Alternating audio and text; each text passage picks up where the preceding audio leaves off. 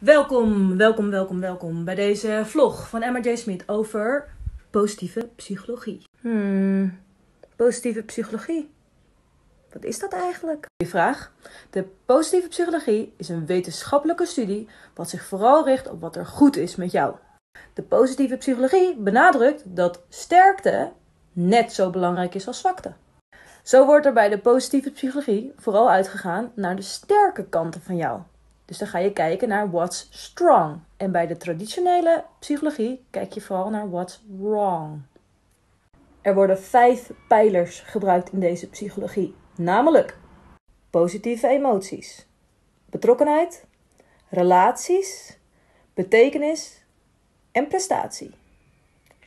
Maar is dan de positieve psychologie het antwoord op alle maatschappelijke problemen? Nope.